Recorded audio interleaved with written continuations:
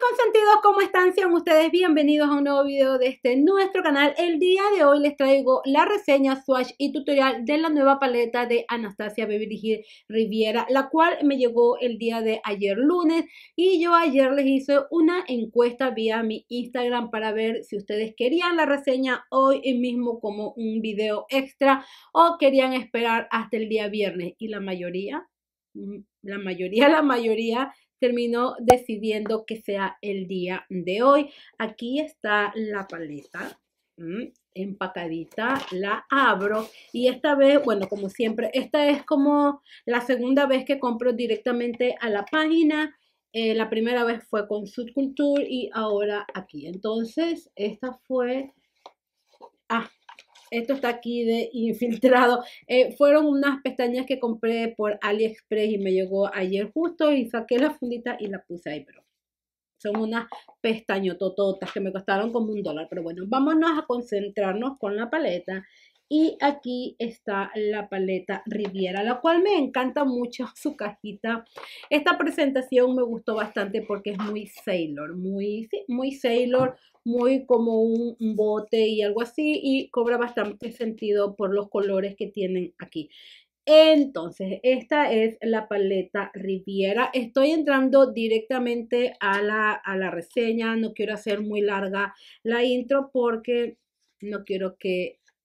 Quiero irme directo. Estoy que muero por ver esta paleta que yo ayer la saqué para hacer los swatches y saco la paleta y aquí está Riviera. Ok, aquí está la paleta Riviera. Estoy bajándole la luz para que ustedes puedan este, apreciar mejor la paleta. Todo esto es como de denim, como tela G y las letras se sienten un poquito en relieve y está en dorado. Y lo más importante es lo que está aquí adentro y ahí están los hermosos colores de Riviera. Es una paleta un tanto diferente a lo que hemos visto antes de Anastasia Beverly Hills, pero me encanta, me encanta y los tonos que más me llaman la atención es este morado y este rosado que está aquí y el resto, incluyendo el café y los de acá, hacen una muy, muy buena transición. Los satinados son muy hermosos, muy bonitos, pero ya viendo los tonos ahí, vámonos directito a los swatches.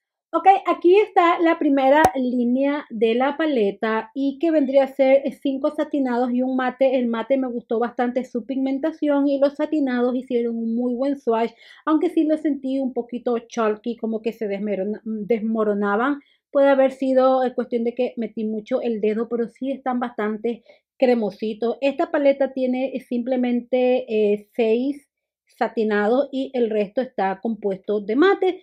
Esta vendría a ser la primera línea, que abajito le han de haber aparecido los nombres. Me voy a limpiar y vamos a ver el, los swatches de la segunda línea. Y aquí están los swatches de la segunda línea. Qué buena pigmentación se siente en esto. Pero en los mates no voy a entrar mucho en detalle porque para saber si un mate trabaja bien, no necesito verlo en los swatches, sino directamente en el mero mole, o sea, en mi ojo. Pero bueno, esto vendría a ser la segunda línea y abajo le han de ver aparecido. Ok, acabaron de ver los swatches de la paleta y cogí la cajita y me puse a leer la parte de aquí atrás. Normalmente no lo hago muy seguido, no suelo ser tan picky con esto, pero quería saber el componente de las dos sombras que, que son el pigmento prensado, como son Bahamas y Canes que es estas dos sombras que están aquí, que son la morada profunda y el fucsia o rosado profundo o bright pink, algo así lo llamaría yo. Estuve leyendo los componentes de esa sombra porque esos son los pigmentos prensados que nos da la paleta. Ahora, algo que me llamó la atención de todos los ingredientes es que dice que puede contener carmín. Y carmín es, um, y ustedes ya lo han de saber, yo lo he dicho creo que en dos o tres de mis videos, carmín es la chinchilla como un escarabajo chiquito que cuando uno lo aprieta eh, da ese eh, puro, ese rojo puro. Pero si esta es una compañía cruelty free, se me hace como, como dice, porque, tiene, porque puede tener carmín. Pero bueno, el carmín no no es peligroso para los ojos, para nada. Y otra cosa que tiene Red Lay, Red 21 Lay, que son pigmentos puros para llegar a esos dos tonos que están ahí. Pero eso era lo único que les quería como mm, decir. Ah, directamente en lo que sentí en los swatches me gustó. Me gustó bastante lo que sentí en los swatches. Ahora estoy intrigada con dos sombras que son justamente las de que acabo de hablar, porque tiene este morado y este rosado. Y yo he visto algunas reseñas que hablan maravillas de la paleta, pero cuando veo que están trabajando esas dos sombras en particular, aunque hablan maravillas, veo que están parchosas o que están difícil de difuminar. Es algo que entiendo porque son pigmentos prensados y los pigmentos prensados no se trabajan de la misma manera que una sombra normal. Entonces con estos dos tonos quiero jugar hoy para hacer el maquillaje, el tutorial del día de hoy. De ahí los demás tonos me gustaron. Los satinados sí lo siento que son un poco chalky, que se desmoronan un poquito. Entonces no hay que darle duro al menos en el dedo, simplemente eh, de una forma sutil, no grosera, como lo hice yo en los swatches el día de ayer. Pero bueno, ya dicho estas cositas, ya saben lo que voy a hacer. Voy a preparar mi canvas, me acerco a la cámara y vamos a ver qué maquillaje logramos con esta bonita paleta. Ok, bienvenidos sean a mis ojos. Ya preparé mi canvas y aquí les voy a dar un pequeño tip, algo que he aprendido con el uso de pigmentos prensados. Cuando vayan a utilizar pigmento prensado en su maquillaje, no sellen la prebase de sombra porque no pega como se debe, ¿ok? Es un pequeño tip que aprendí en los desastres que a veces hacía de maquillaje. Lo que hago es simplemente poner eh, suficiente cantidad de prebase y lo difumino eh, con una brocha así pachoncita o si no con el dedo para ir quitando esta marca que se ve aquí. Eso la corto con el dedo para que no moleste a la hora del maquillaje. Nada más. Ahora me voy directo al maquillaje y voy a estar utilizando esta brocha. Esta es de la marca ELF, es brocha económica. Y voy a empezar jugando con este rosado que está aquí, que se llama Bahamas. Eh, la paleta tiene la polosidad característica de las paletas de Anastasia Beverly Hills nada del otro mundo, nada que no se pueda eh, trabajar. Entonces, ¿qué voy a hacer? Voy a aplicar este, esta sombra rosada de aquí hasta más o menos la mitad. he estado viendo muchos maquillajes por Instagram, me gustó bastante este que está aquí, que les aparece aquí en pantalla. Me estoy inspirando en este maquillaje, pero no lo voy a hacer exactamente igual. Ahí mismo está el nombre de la creadora y más o menos en ese me estuve inspirando, pero que bueno. Regresando al maquillaje, voy a empacar este tono, o sea, a posicionar desde aquí, pero no lo voy a difuminar, simplemente lo voy a empacar con pequeños movimientos circulares. Este es un pigmento prensado y entonces hay que aplicarlo así. Y wow, tiene muy buena pigmentación, pero bueno,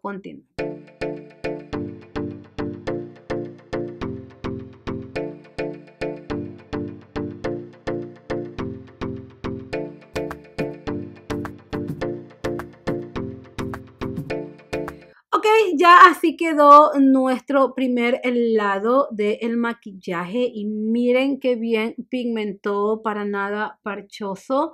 Es un tono difícil de manejar porque es un pigmento prensado. Entonces, para mi manera personal de manejar estos maquillajes es así posicionándolo, empacándolo y después difuminar los filos. Pero ahora me voy y yo ya había cogido producto, es, me voy con el rosadito que es el moradito, perdón, que es Canes y voy a hacer absolutamente lo mismo que hice con el rosado, empacándolo despacio. Aquí sí difumino un poquito y lo voy aplicando. Los morados son tonos bien difíciles de crear, entonces vamos a ver qué tal me va con esto.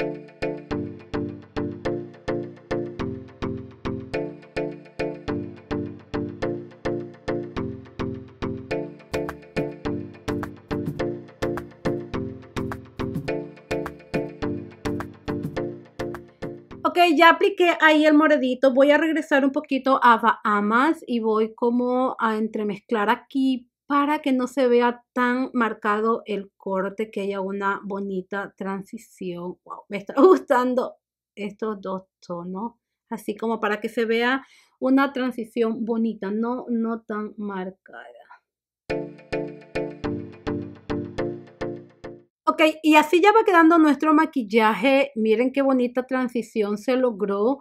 Mm, el moradito está bien realizado. No lo sentí parchoso. Como digo, estas sombras eh, no se pueden utilizar de la misma manera como se utilizan las demás sombras porque son pigmento prensado. Y estas en particular no están combinadas con talco. Entonces la difuminación, como por ejemplo una sombra de transición con estas, no quedaría bien. Pero empacándolo en la fórmula, en la forma que lo utilizo da este trabajo. Ahora me voy con una brocha así de difuminar y voy a coger Cabana, que es como un amarillo medio mostaza, con una con muy poquita cantidad y voy a tratar de como difuminar los filos de las dos sombras para que no se vea tan marcado como se ve ahí. Entonces, despacito. Esto, esto sí hay que tener bastante, bastante paciencia. Y yo siempre les digo, el maquillaje es paciencia. Entonces vamos a difuminar.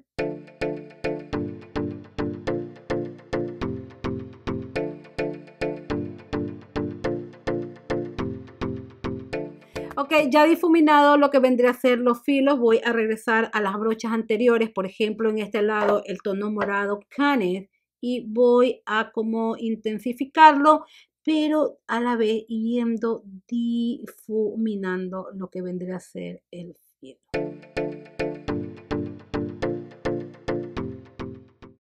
Y de la misma forma cogemos el rosado y intensificamos un poco más.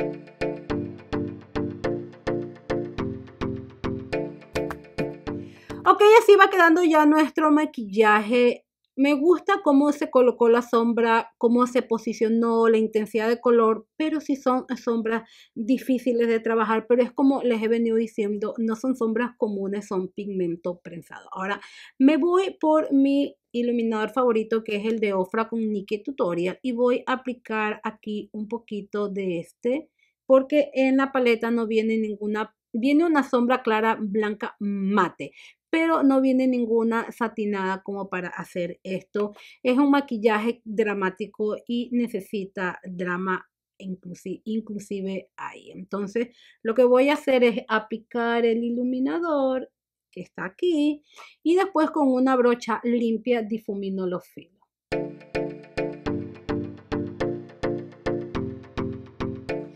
Así ya va quedando nuestro maquillaje. Ahora lo que voy a hacer fuera de cámara es marcar el pliegue. Vamos a hacer un cut crease y regreso para ver con qué otros tonos jugamos. Ok, ya regresé con la cuenca marcada de esta forma media rara, pero ahora me voy por este tono dorado que tiene un nombre raro. Por ahí les aparece en pantalla el nombre. Y esa lo voy a aplicar en medio, en el mero medio de lo que de lo que hicimos nuestro corte de pliegue. Ahora esta sombra está bastante chalky, polvosa, pero miren, sin necesidad de mojar la brocha pigmento. Pero bueno, vamos a aplicar esto en medio.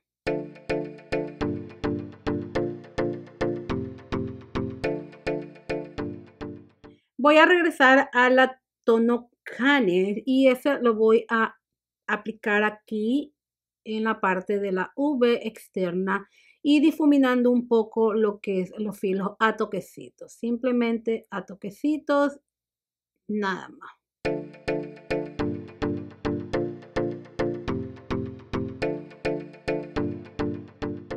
Y lo mismo hacemos con el tono rosa.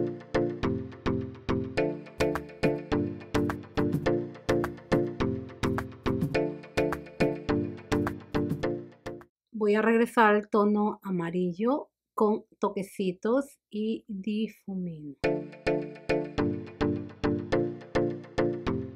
Voy a tomar una brocha así biselada y voy a coger el tono que se llama Mediterráneo, que es este que está aquí.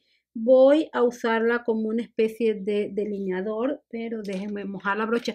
Ahora lo que sí siento es que estas brochas satinadas se desmoronan bastante, entonces son bastante chalky, pero entonces hay que darle con mucho, con mucho cuidado, pero esa lo voy a coger aquí como un delineador bien, bien pegadito a el crecimiento, pero queda divino, wow. No sé si la cámara lo capte, pero queda bien bonito y corta bien ahí. Ok, y así va quedando más o menos nuestro maquillaje. Ahora lo que voy a hacer fuera de cámara es hacer todo mi rostro y regreso para trabajar la parte de abajo de nuestros ojos. Ok, ya regresé a mis consentidos. Como ven, así va quedando el maquillaje. En la línea del agua me puse un lápiz Elastic Drama de Maybelline, que es este como es como un turquesa. Déjenme ver qué tono es. Silken Turquoise. Entonces es un tono turquesa el que puse en la línea del agua. Ahora, con una brocha detallada me voy por el tono Monte Carlo, que es este que está aquí, que es un, rosadito. Y voy a difuminar la parte de aquí abajo, ¿ok? Ya aplicado ese tono rosado, me voy por este tono que se llama State y ese voy a difuminar el filo del rosado hasta abajo. Y ahora con una brocha más detallada me voy para el turquesa y ese le voy a aplicar lo más, lo más pegadito al crecimiento de mis pestañas para que juegue con el tono que puse en la línea del agua. Y sí, este no es un maquillaje para irse a Walmart, es un maquillaje dramático para jugar. Y pues así ya va quedando nuestro maquillaje. Creo que lo único, lo último que le voy a hacer al maquillaje, irme de nuevo por el tono dorado y ese aplicarlo aquí en mi lagrimal. Este es un tono divino, muy, ay, pero miren qué bonito queda. Muy, muy llamativo este tono, me gusta. Y pues así quedó ya nuestro maquillaje fuera de cámara. Voy a hacer el resto de mi rostro, incluyendo labial y pongo pestañas postizas y regreso. Ok, ya regresé con mi maquillaje mega dramático terminado en mis ojos. En los labios llevo una combinación de dos tonos que es el Ultra Satin 951 de Colourpop y en medio le puse este Ultra eh, metálico de Colourpop mismo que se llama A Flitter. Y pues así quedó nuestro maquillaje dramático terminado, así que vamos a presumir.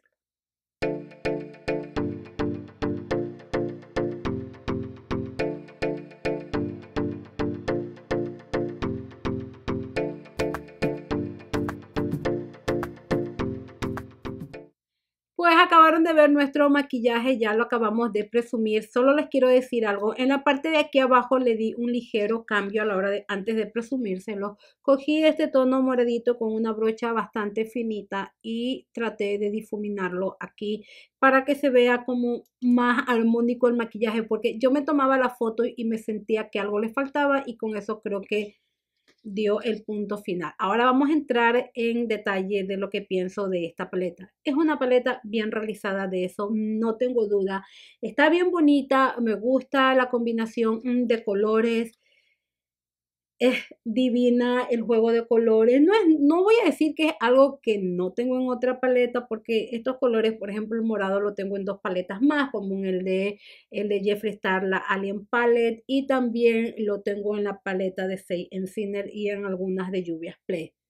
Pero es Anastasia Beverly Hills y uno siempre quiere tener la colección eh, completa.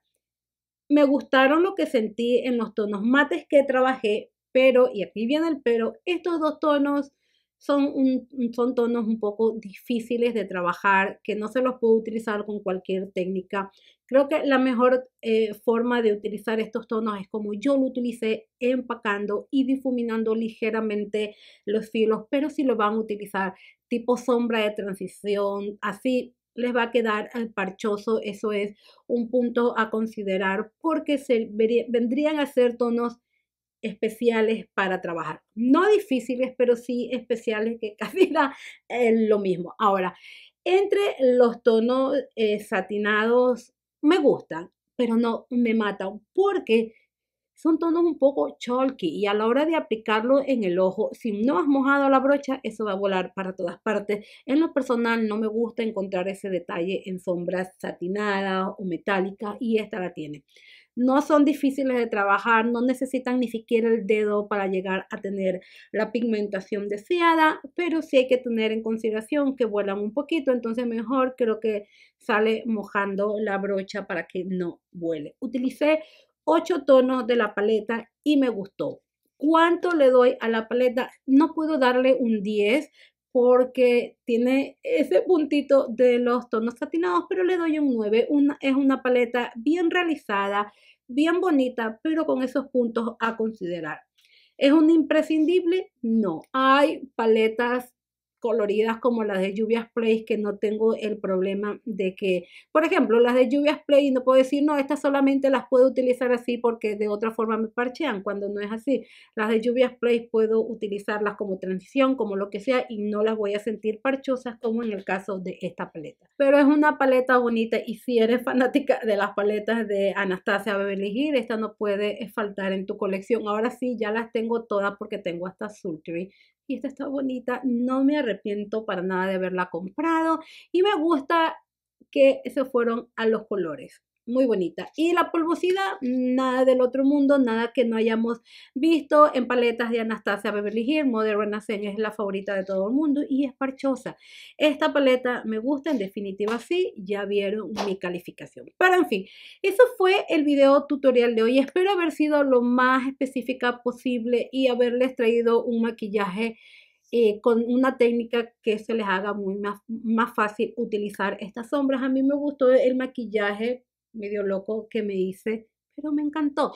Pero bueno, eso fue todo por el video de hoy. Si te gustó esta reseña, swatch y tutorial rapidita, no te olvides de regalarme un dedito arriba, pero sobre todo compártelo en tus redes sociales favoritas. De esta forma yo me doy a conocer y esta comunidad de mis consentidos sigue creciendo. Ya que estamos hablando de redes sociales, no te olvides irme a seguir a todas mis redes sociales donde me vas a encontrar con el mismo nombre del canal, pues Marijaco. Pero por lo pronto yo me despido de ti, no te olvides irte suscribiendo dándole clic a la bolita y aquí abajito y aquí al ladito te dejo el link a mi último video de belleza y tampoco te olvides de ir activando la campanita de notificaciones para que YouTube te anuncie cada vez que tenemos video nuevo y yo me despido de ti diciéndote todo, pero todo, pero toditito, lo mejor del mundo, pero conmigo hasta el siguiente video y un beso muy pero muy grande. Mm, bye mis consentidos.